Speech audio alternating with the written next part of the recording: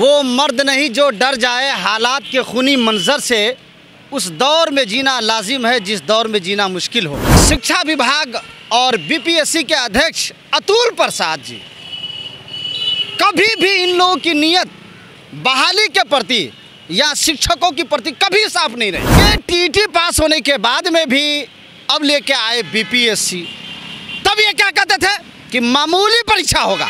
मामूली का शब्द सारे चैनल पे उठता रह गया, मामूली। अब नब्बे, पंचानवे और सौ कट ऑफ़ जाता है। कहाँ गया आपका मामूली भाई?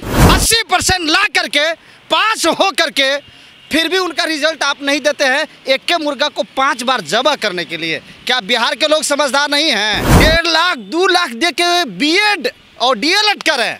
और जब नौकरी देने की बारी आती है तो अदर स्टेट के लोग आते हैं। शिक्षा, आत्मा और बिहार के एजुकेशन का सवाल है यार। ताजुब की बात है, ये सोचिए ये। ये सोचिए। ये दर्द है। बिहार में लगातार शिक्षक अभ्यर्थियों की बहाली हो रही है, लेकिन कहीं ना कहीं जिस तरीके से सवाल उठ रहा है, इसको लेकर अभ्यर्थी लगातार नीतीश सरकार पर, शिक्षा विभाग पर कई सारे गंभीर आरोप लगा रहे हैं। मामला पटना हाईकोर्ट में पहुँच गया है। फ़र्स्ट फ़ेज़ और सेकंड फ़ेज़ की बहाली को देखते हुए तमाम अभ्यर्थी कहीं ना कहीं पटना हाईकोर्ट पहुँच गए हैं। ऐसे में एक मामला कहीं ना कहीं उर्दू टीटी के साथ साथ देखा जाए तो तमाम अनेक शिक्षक अभ्यर्थियों का है, जिसको लेकर काफ़ी परेशान है अभ्यर्थी। भाषा विषय की हड़ता को जिस तरीके से समाप्त कर दिया गया। ये मामला भी पटना हाईकोर्ट में पहुँचा है तो वहीं और भी कई सारी विसंगतियों को लेकर कहीं ना कहीं पटना हाईकोर्ट अभ्यर्थी पहुँच गए हमारे साथ बात करने के लिए हसन रजा हैं, उर्दू टी के प्रदेश अध्यक्ष। जुड़ेंगे बात करेंगे हसन जी, एक तरफ़ जहाँ दावा किया जा रहा है, शिक्षक बहाली हो रही, दूसरी तरफ़ मामला हाईकोर्ट पहुँच गया है, आपका भी केस लगातार चल रहा है, सुनवाई पे सुनवाई हो रही है, ऐसे में क्या वो मर्द नहीं, जो डर जाए, हालात के खूनी मंजर से उस दौर में जीना लाजिम है, जिस दौर में जीना मुश्किल हो। शिक्षा विभाग और बीपीएससी के अध्यक्ष अतुल प्रसाद जी, कभी भी इन लोगों की नीयत बहाली के प्रति या शिक्षकों के प्रति कभी साफ़ नहीं रही। कभी भी साफ़ इनके रहबे नहीं किए हमेशा पाँच साल से पहले लगातार ये बोल रहे थे कि मेरे पास में शिक्षकों की कमी है, कैसे वैकेंसी निकालें हम? ये टीटी पास होने के बाद में भी अब लेके आए बीपीएससी तब ये क्या कहते थे कि मामूली परीक्षा होगा। मामूली का शब्द सारे चैनल पे उठता रह गया, मामूली। अब नब्बे, पंचानवे और सौ कट ऑफ़ जाता है। कहाँ गया आपका मामूली भाई? बताइए आप। आपका मामूली का शब्द कहाँ गया? कब तक के धुरफई एक लाख बाईस हज़ार सीट। और निकालते हैं सत्तर हज़ार, पचहत्तर हज़ार लड़कों को कामयाब। नब्बे परसेंट, अस्सी परसेंट ला करके, पास हो करके फिर भी उनका रिज़ल्ट आप नहीं देते हैं। एक के मुर्गा को पाँच बार जबा करने के लिए। क्या बिहार के लोग समझदार नहीं हैं? अरे, आपके कॉलेज से बीएड और डीएलएड हम करें। ताजुब की बात है यार। इनके कॉलेज में बिहार के उम्मीदवार डेढ़ लाख, दो लाख दे के बीएड और डीएलएड करें।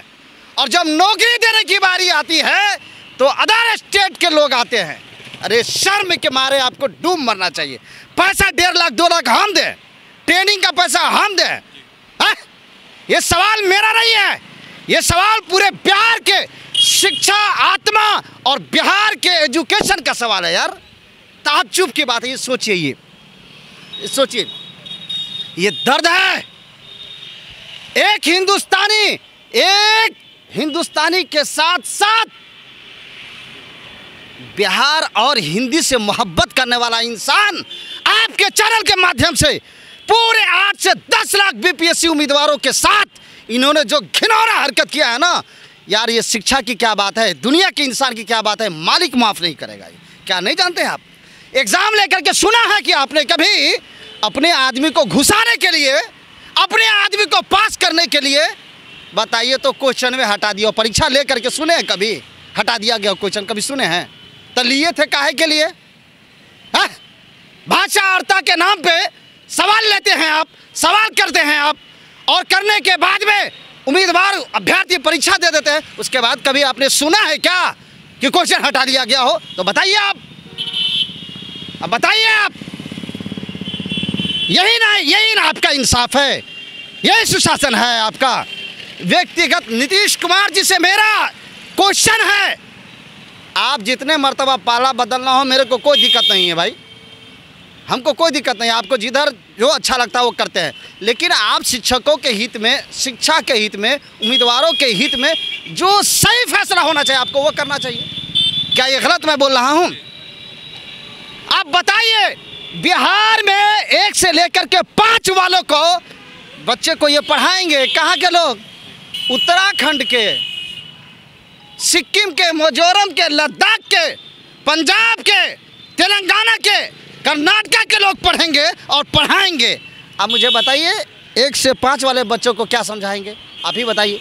एनसीटी का गाइडलाइन पढ़िए ना। बच्चों को अपनी मादरी जबान उनके भाषा में शिक्षा देना है। क्या वो पढ़ा पाएँगे? आप मुझे बताइए, जो का, जिस आदमी का हफ़्ता टेस्ट नहीं हो पाया।